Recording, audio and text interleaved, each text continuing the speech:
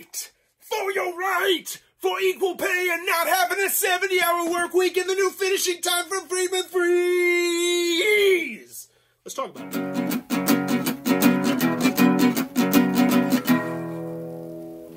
That even mean, Bower's Game Corner? Ahoy there, YouTube! I'm back here today for another game review, and today I'm very excited to check it out. Feierabend, aka Finishing Time from Friedemann Friese of Power Grid Friday fame, Fearsome Floors, very prolific game designer. This is for 1 to 6 players, ages 12 plus, take about 55 minutes to play. And in Finishing Time, this is a really unique worker placement game where you're going to be placing your workers out to try and relax after a long, stressful 70 hour work week.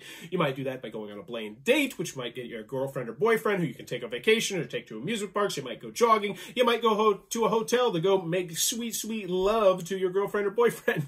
All of that is on the table. Or you might just try and get more uh, strike tokens so then you can improve your working conditions, which will make it better for you in the future. It really ingrains the theme of the game in with the gameplay. And if you want to see more of how it works, I did a solo gameplay video of it and a thoughts from the corner, which you can check out right up there. But this is the review, so let's get over the pros, let's go over the cons. First, on the con side, the game is not going to be for everybody for a variety of different reasons. The theme is going to be a turnoff to some people. I don't think that's most people, but some people I could see absolutely saying, nope, I, I play video games as escapism, or board games as escapism, and this is not escapism.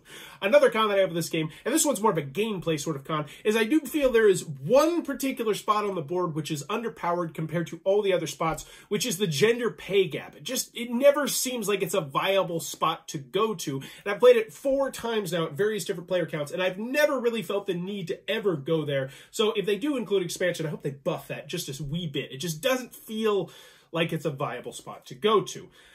Another con that I have with this game is that I feel like the fact that they were clinging to trying to make this a medium to lightweight, you know, Euro style game kind of holds it back a little bit. I think with an expansion, this could go from the 8, which is what I'm going to rate it right now, to like an 8.59, like an absolutely just show stealing game because I understand that they wanted to make the game not too complex. Because right now, it's pretty easy to learn, it's pretty easy to teach, but by not going that extra step and just adding maybe a couple extra things here or there, I think it holds it back just a little bit.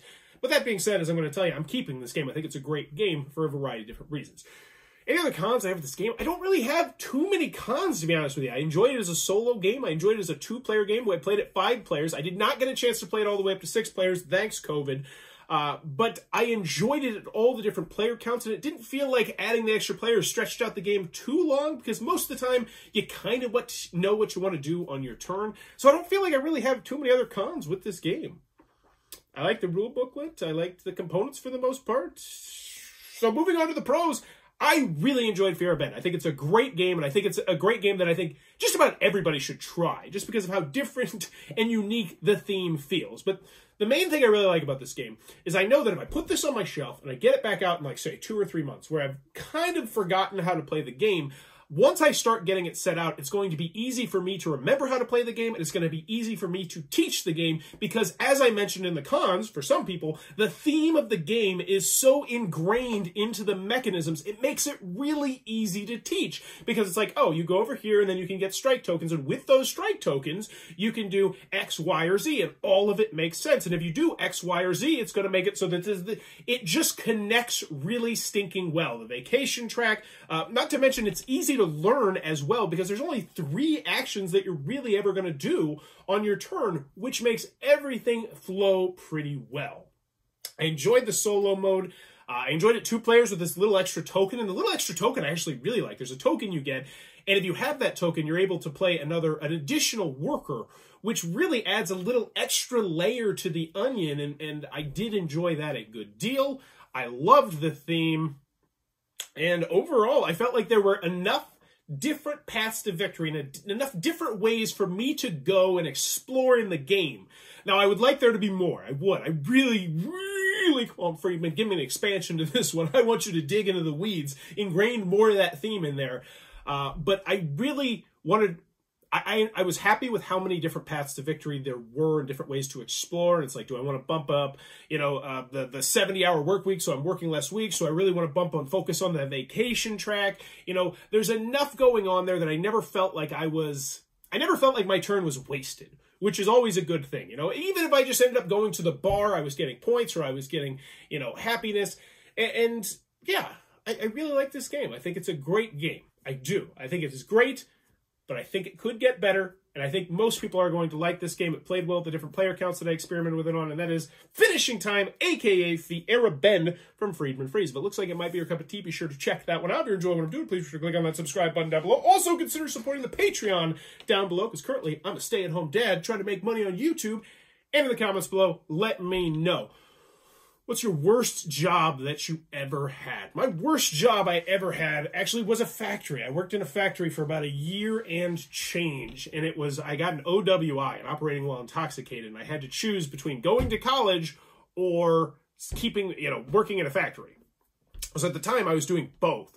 And then when I lost my vehicle, it was like, well, I, I cannot continue going to college because I have to pay to go to college. So I dropped out of college and I worked this job and I hated the job and I was just addicted to all sorts of bad stuff. I was Ooh, let me tell you, that was a rough point in my life. I think I got scabies like three times over the course of a year. I was not a good person. Bad, bad, bad times. But luckily, I got laid off from that job. I was able to go back to college. And now, well, I'm not working, but that's that's COVID related, so who cares? But that's enough. Let me know. In the comments below. What was your, oh, the factory job. Why was the factory job so bad? It was terrible because it was just, it was the same thing over and over. Now, I'm a pretty happy-go-lucky guy, though, so I made the most of it. I was actually all the way in the back of the factory. I ran this giant laminator, and um, I, it would take it would take like 15 minutes for the laminator to heat up what I was laminating. I'm not actually supposed to say because technically I was working, blah, blah, blah.